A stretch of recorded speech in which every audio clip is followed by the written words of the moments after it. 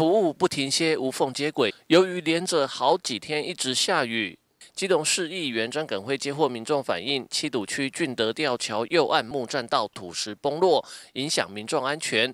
张耿辉立刻到现场勘查，并且通知相关单位进行封闭和改善。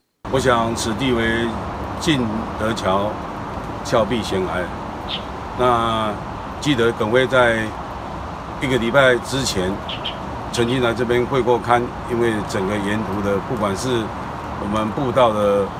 啊的一些走道也好，还是我们这边护栏也好，啊，要市政府相关的切施赶快来寻求改进。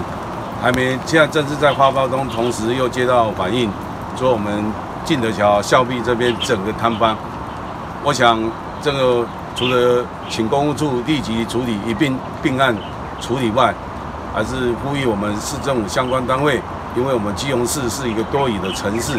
最近的好大雨，务必所有的包含我们的桥梁的桥墩、河岸的护岸的护坡，还有我们溪流的护坡，要做一并的总检讨，以免啊一些意外事情发生。尤其啊这段时间真的是好雨成灾，很多的事情啊层出不穷。那也希望我们市政府相关单位务必要有有所警惕。尤其这边河河滨步道这边呢，经常有市民好朋友在这边啊休闲的走动。那为了防止他们安全起见，我希望啊，迅速啊，相关单位能够迅速来解决这些问题。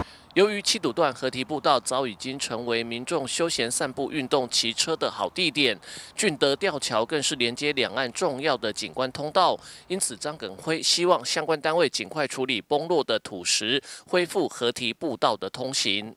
记者吴俊松基隆报道。